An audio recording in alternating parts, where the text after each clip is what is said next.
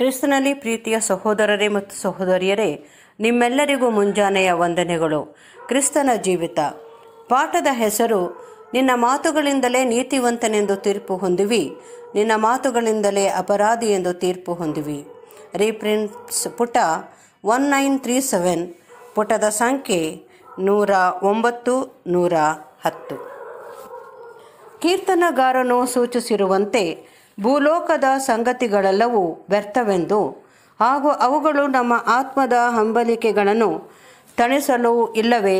ನೊಂದ ಮನವನ್ನು ಸಂತೈಸಲು ತೀವ್ರ ಅಸಮರ್ಥವಾದವುಗಳೆಂದು ಅನುಭವದಿಂದ ತೋರಿಸಿಕೊಡುವುದರ ಮೂಲಕ, ಮೂಲಕವಾಗಿ ಆತನು ಇದನ್ನು ಮಾಡುವನು. ಅನಂತರದಲ್ಲಿ ಬರುವ ಆಲೋಚನೆ ಎಂದರೆ ಈಗಿನ ಕಾಲದ ಜೀವಿತವು ಮತ್ತು ಅದರ ಚಿಂತಾಭಾರಗಳು, ಪೀಡನೆಗಳು ಮತ್ತು ವ್ಯಥೆಗಳು ಗತಿಸಿ ಹೋಗುತ್ತಿರುವುದಾಗಿಯೂ ನಮ್ಮ ದಿನಗಳು ಕೇವಲ ಅಂಗೈ ಅಗಲಷ್ಟ ಅಗಲದಷ್ಟಿರುವುದು ಅಲ್ಲದೆ ಮತ್ತು ನಮಗಾಗುವ ಜೀವಿತ ಅನುಭವಗಳು ನಮ್ಮನ್ನು ಎಷ್ಟು ಬಾಧಿಸುತ್ತಿದ್ದರೂ ಅವೆಲ್ಲವುಗಳು ಶೀಘ್ರದಲ್ಲಿ ಮುಗಿದು ಹೋಗುವು.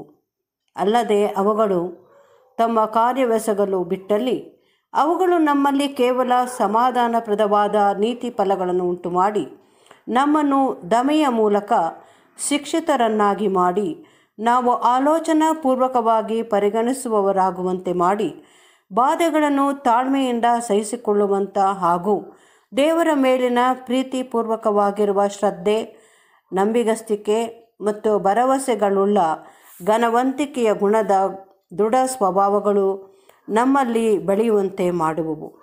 ಆಗ ಮುಂಬರಲಿರುವ ಜೀವಿತದಲ್ಲಿ ಲಭಿಸುವ ಭಾಗ್ಯಕರವಾದ ನೀತಿಯ ಪ್ರತಿಫಲಗಳ ವಿಷಯವಾಗಿ ನೀಡಲಾಗಿರುವ ಆಶ್ವಾಸನೆಗಳಿಗೆ ಒಂದು ಹೊಸದಾದ ಮತ್ತು ಗಾಢವಾದ ಮಹತ್ವಗಳು ನಮ್ಮಲ್ಲಿ ಉಂಟಾಗಲು ಆರಂಭವಾಗುವುದು. ಇಲ್ಲಿ ನಮಗಿರುವುದು ಶಾಶ್ವತವಾದ ಪಟ್ಟಣವಲ್ಲ, ಆದರೆ ನಾವು ಮುಂದೆ ಬರುವುದನ್ನು ಹುಡುಕುವವರಾಗಿ ರಾಗಿದ್ದೇವೆಂಬ ಗ್ರಹಿಕೆಯು ನಮ್ಮಲ್ಲಿ ಬರುವುದನ್ನು ನಮ್ಮಲ್ಲಿ ಉಂಟಾಗುವಂತೆ ಮಾಡುವುದು.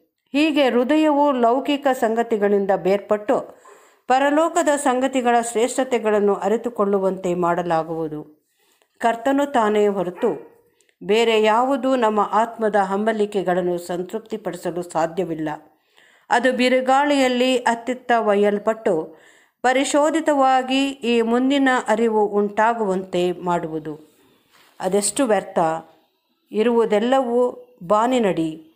ಅದೆಷ್ಟು ಕ್ಷಣಿಕ ಪ್ರತಿ ಲೌಕಿಕ ಸಂತೋಷ. ಅದೆಷ್ಟು ಕೃಶ ಅತ್ಯಂತ ಪ್ರೀತಿಮಯ ಬಂದ, ಇಂಥ ಒಂದು ಲೋಕಕ್ಕೆ ಬಂಧಿಸಿವೆ ನನ್ನ. ಹೀಗೆ ಶಿಕ್ಷಿಸಲ್ಪಟ್ಟು ಸಂತೈಸಲ್ಪಟ್ಟವರಾಗಿ, ನಾವು ಈ ಪ್ರಸ್ತುತ ಕಾಲದ ನಂತರದಲ್ಲಿ ನಂಬಿಗಸ್ತರಾಗಿ ಜಯಶಾಲಿಗಳಾಗುವವರಲ್ಲಿ ಅಂತಿಮವಾಗಿ ಪ್ರಕಟಗೊಳ್ಳುವ ಪ್ರಭಾವವನ್ನು ದೃಷ್ಟಿಸುವ, ದೃಷ್ಟಿಸುವವರಾಗುತ್ತೇವೆ.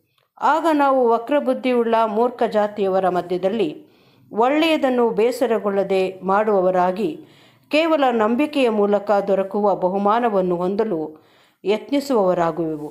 ಹೀಗೆ ಆದರಣೆ ಮತ್ತು ಸಹಾಯಗಳನ್ನು ಹೊಂದಲು ಕರ್ತನ ಬಳಿಗೆ ಹೋಗುವುದರ ಮೂಲಕವಾಗಿ ದೇವರ ಮಗನು ಶಿಕ್ಷಿತನಾಗಿ ತೀವ್ರವಾದ ಪರಿಶೋಧನೆ, ಪರಿಶೋಧನೆಗಳನ್ನು ಸಹಿಸಿಕೊಳ್ಳುವುದರ ಮೂಲಕವಾಗಿ ಆಶೀರ್ವಾದ ಹೊಂದಿದವನಾಗಿ, ದೇವರ ಪ್ರೀತಿ, ಉಪಕಾರ ಮತ್ತು ಕೃಪೆಯ ವಿಷಯವಾಗಿ ಆಸಕ್ತಿಯಿಂದ ಮನದಟ್ಟು ಮಾಡಿಕೊಳ್ಳುತ್ತಾ, ತಾನು ಲೋಕದ ಪಾಲಿಗೆ ಸತ್ತವನಾಗಿ ದೇವರಿಗಾಗಿ ಜೀವಿಸುವುದೆಂಬುದರ ಅರ್ಥವನ್ನು ಗ್ರಹಿಸಿಕೊಳ್ಳಲು ಆರಂಭಿಸುವನು. ಮತ್ತು ಹೀಗೆ ಲೋಕದಿಂದ ಪ್ರತ್ಯೇಕವಾಗಿ ಕ್ರಿಸ್ತನೊಂದಿಗೆ ಬಹುದೃಢವಾದ ಐಕ್ಯತೆಯನ್ನು ಹೊಂದುವ, ಹೊಂದಿದವನಾದಲ್ಲಿ ಕೀರ್ತನೆಗಾರನು ಮುಂದುವರೆದು ಸೂಚಿಸುವಂತೆ ಆತನ ಹೃದಯವು, ಹೃದಯದ ಭಾವವು ಹೀಗಿರುವುದು. ಹೀಗಿರಲಾಗಿ, ಕರ್ತನೆ, ಇನ್ನು ಯಾವುದಕ್ಕೆ ಕಾದುಕೊಂಡಿರಲಿ? ನೀನೇ ನನ್ನ ನಿರೀಕ್ಷೆ. ಪರದಿಂದ ಸ್ಪರ್ಶವಾದಲ್ಲಿ ದುಃಖವೂ ಸಹ, ಆನಂದ ಪ, ಪರವಶತೆಗಿಂತಲೂ ಮಿಗಿಲಾಗಿ ಪ್ರಜ್ವಲಿಸುವುದು. ಅಂಧಕಾರವು ಜ್ಯೋತಿರ್ಮಂಡಲಗಳನ್ನು ನಮಗೆ ತೋರಿಸುವಂತೆ ಹಗಲಿನಲ್ಲಿ ನಾವು ಇದನ್ನು ಎಂದು ಕಂಡಿರಲಾರೆನು. ಇವು ಪರಿಶೋಧನೆ ಹಾಗೂ ಬೇಸರಿಕೆಯ ಸನ್ನಿವೇಶಗಳಲ್ಲಿ ನಾಲಿಗೆಗೆ ಕಡಿವಾಣ ಹಾಕಿದವರಾಗಿ ನಮ್ಮ ಚಿಂತೆಗಳೆಲ್ಲವುಗಳನ್ನು ನಮ್ರತೆಯಿಂದ ಕರ್ತನ ಬಳಿಗೆ ಕೊಂಡೊಯ್ಯುವುದರ ಮೂಲಕವಾಗಿ ದೊರೆಯುವಂಥ ಭಾಗ್ಯಕರವಾದ ಫಲಿತಾಂಶಗಳು.